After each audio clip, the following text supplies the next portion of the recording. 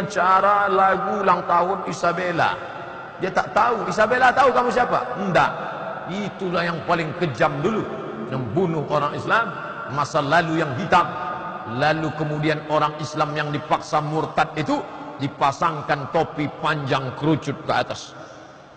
Siapa saja orang Islam yang murtad, nauzubillah, nauzubillah, nauzubillah, diambil topi panjang ke atas, pasang. Kerucut ke atas. Namanya San Benito. Itulah yang sekarang dipakaikan ibu-ibu untuk anaknya. Happy birthday to you. Jangan pasangkan topi tajam ke kepala anak-anak kita karena kita tak tahu sejarahnya. Jangan tiup-tiup lilin karena sedang ikut tradisi orang majusi. Orang majusi kalau berdoa tiup api, sembah api. Nah, minta untuk setahun ke depan ya, pejamkan mata, apa doamu di masa akan datang? Minta apa tadi? Laptop. Bulan depan istrinya pula ulang tahun. Apa tadi? Tas kulit. Bulan depan suaminya pula ulang tahun. Apa tadi? Ada deh. Bapak Ibu yang dimuliakan Allah. Dengan segala macam posenya. Berpose ulang tahun. Macam-macam pose istri orang. Ditonton suami orang. Anak gadis orang. Ditonton anak lajang orang. Macam-macam.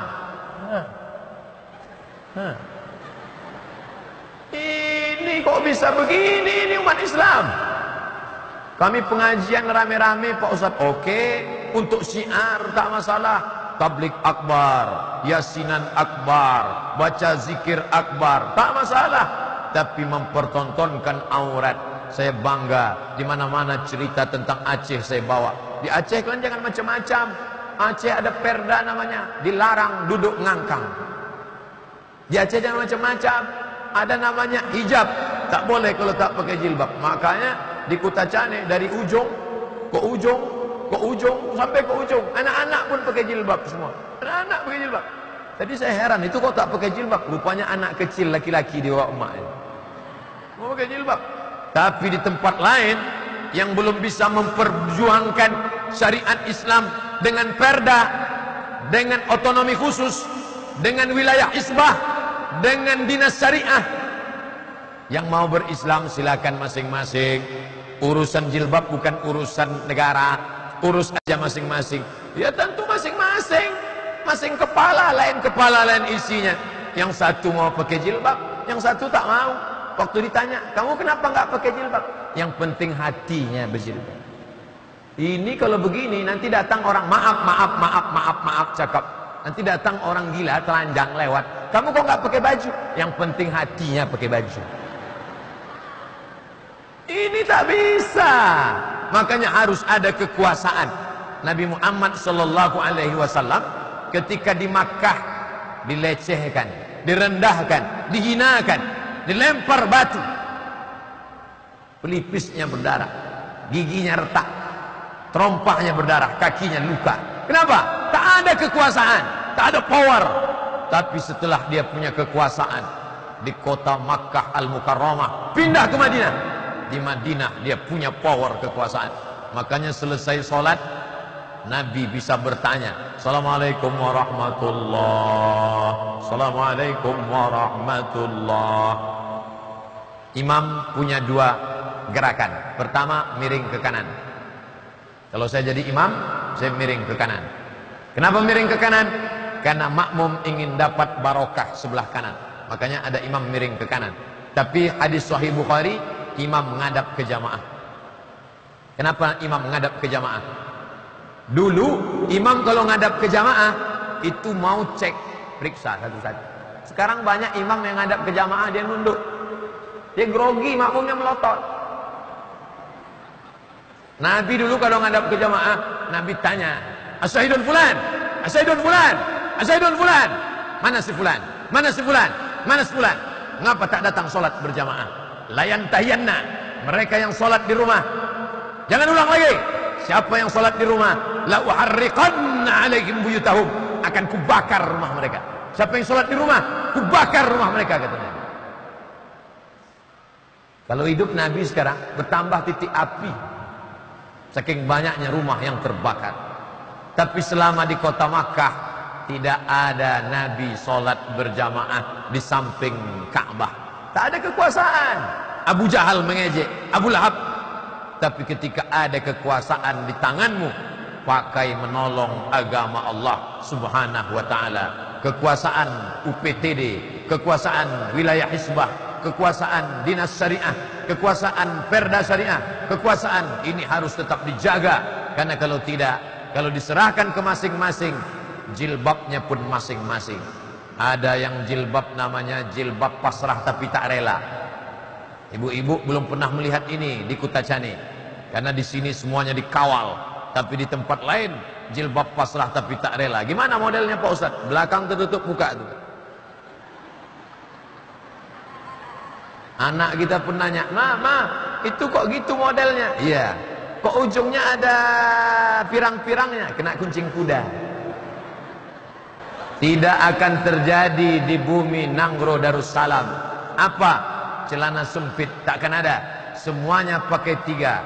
Gamis, baju kurung, baju panjang. Baju panjang, gamis, baju kurung. Tertutup semua. Kurung, mengurung lutut, mengurung kaki. Yang nampak hanya dua. Innal mar'ata, perempuan. La yasluh laha an yura minha. Tak boleh nampak dari tubuhnya. Illa hadha. Wajah. Wahada. Tapak tangan. Zahiruha. Wa batinuha. Ini boleh. Ini boleh. Satu, dua, tiga. Nampak. Yang lain tutup. Di tempat lain tertutup. Tapi sempit. Sampai menjerit pahal. Tolong. Sempit. Kecil. Kecil ujung kaki. Lejing namanya. Mbak, mbak, ini celana anak kecil atau orang dewasa? Ini untuk orang dewasa, Pak. Loh, kok kecil sekali? Eh, bapak jadul. Ini Pak karet. Dia dipakai bisa melar walaupun kaki itu sebesar batang kelapa. Dokter sudah ngasih tahu, jangan pakai celana sempit karena berpengaruh pada peredaran darah. Nanti sakit kulit. Tapi orang kita ini prinsip hidupnya biar sakit asal gaya. Nih, orang tuanya mana? Kenapa diam? Awalnya memang takut karena takut ditangkap wilayah hisbah, karena takut dikontrol pemerintah, tapi lama-lama akan masuk ke hati beramal sesuai dengan suruh tunjuk perintah Allah Subhanahu wa taala. Ini akan menyelamatkan negeri ini. Dari bawah umat ini disadarkan dengan ceramah. Ustadz-ustadz yang diundang kemari luar biasa. Ustadz Maulana sudah datang. Ustadz Ali Jaber dari Madinah langsung kemari. Ustadz-ustadz ngetop sudah diundang semua kemari. Ah, baru yang kurang ngetop ini sekarang. Semua datang kemari. Untuk apa? Untuk apa ustaz-ustaz ini datangkan ke Masjid Taqwa? Dari bawah diingatkan dengan ceramah, tausiah, khutbah, pengajian. Dari atas diingatkan dengan aturan, perda, undang-undang. Maka tidak mempan lagi calon bupati, calon wali kota, calon anggota legislatif, anggota DPR datang merayu jamaah jual iming-iming karpet. Nggak laku. Bawa karpet dua gulung. Bapak ibu pilih saya ya. Nanti kalau saya menang saya kasih tambahan. Ini DP nya kalau saya kalah yang ini saya jemput lagi. Tak mampan. Kalau bapak mau nolong kami jangan beri kami karpet. Karpet kami sudah mahal bagus. Jangan beri kami kipas AC kami sudah mantap.